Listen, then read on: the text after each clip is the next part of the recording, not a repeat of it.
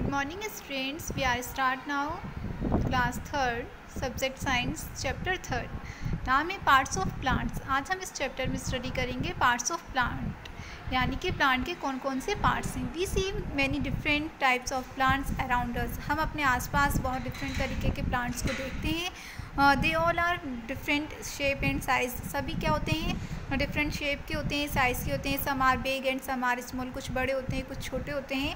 All plants big और small have some parts सभी के पास कुछ कुछ पार्ट्स होते हैं. Let's learn about the parts of a plant तो चलो हम स्टडी करते हैं पार्ट्स ऑफ़ प्लांट की. Parts of plant just you have eyes nose ears and other body parts a plant also has many parts जिस तरह से हमारे पास होती हैं आइज़ होती है nose ears and other body parts होते हैं उसी तरह से प्लांट्स के पास भी बहुत डिफरेंट पार्ट्स होते हैं। तो हम उनके बारे में आज से जानने वाले हैं। The a plants has two main parts एक प्लांट के पास दो मेन पार्ट्स हैं। The part below the ground is called root जो ग्राउंड पार्ट होता है, उसे रूट कहते हैं। The part above the ground और ग्राउंड के ऊपर का पार्ट क्या कहलाता है? Shoot it consist of the stem और जो शूट में होते हैं क्या क्या होता है? Stem leaves buds flower and fruits mainly Mina plant को दो में बांटा गया है। Root and shoot shoot consist करता है स्टेम को लीव्स को वर्ड्स को फ्लोवर्स को एंड फ्लोवर्स को लाइक अ प्लांट्स देखिए आप, क्या है, नीचे वाला क्या है, ये रूट है, फिर ये शूट है शूट में स्टेम है लीव्स है फ्लोवर्स हैं बर्ड है एंड फ्रूट्स हैं.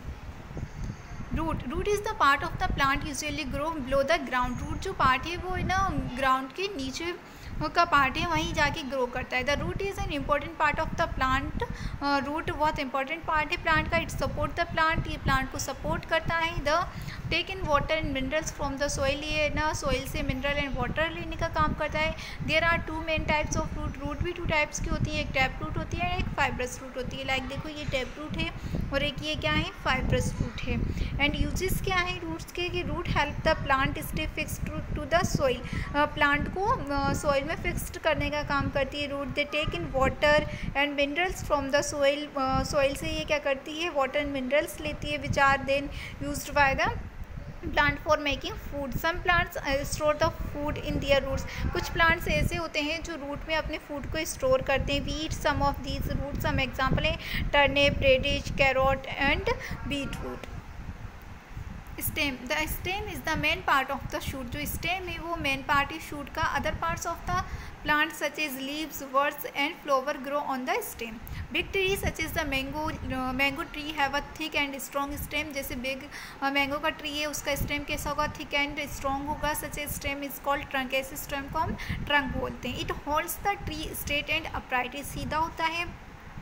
It plant such as climber and creepers the stem is weak जो क्लाइंबर और क्रीपर्स होते हैं, उनके स्टेम क्या होते हैं? वीक होते हैं and can not hold the plant upright ये प्लांट को सीधा खड़ा रखने में क्या नहीं होते हैं? सक्षम नहीं होते हैं कैपेबल नहीं होते हैं. Such plant need support to climb up grape vine pea money plant and bean are some plants with weak stem इन सबके क्या होते हैं? जो स्टेम्स होते हैं, वो वीक होते हैं. Uses of stem the stem keeps the plant upright and straight leaves bud flower and fruit grow on the stem.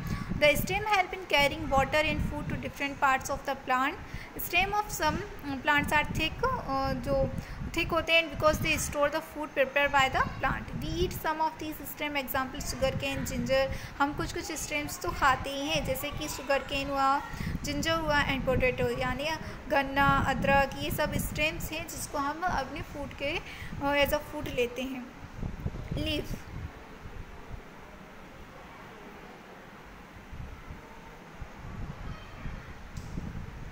leaves grow on stem leaves leave भी जो होती हैं, वो इस स्टेम पर ग्रो करती हैं। The leave is known as the kitchen of the plant because it make food for the plant जो लीव्स को हम किचन ऑफ़ द प्लांट भी बोलते हैं प्लांट की किचन क्योंकि ये फ़ूड को प्रिपेयर करने में हेल्प करती हैं। हेल्प क्या?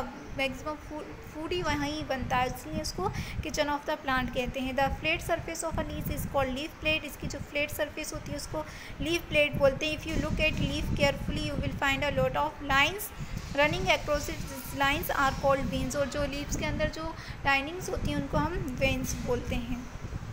Flowers grow on the stem flowers भी स्टेम पर ग्रो करेंगे? They make the plant look pretty ये प्लांट को बहुत प्रिटी बनाते हैं and flowers are of different shape and colours they usually have a sweet smell some flowers change into fruit कुछ flowers जो होते हैं वो फ्रूट्स में चेंज हो जाते हैं. Most fruits have seed inside them और उनके अंदर सीड होता है. Seed grow into a new plant this flower help a plant grow more of its own kind flowers are very important to a plant as they help it reproduce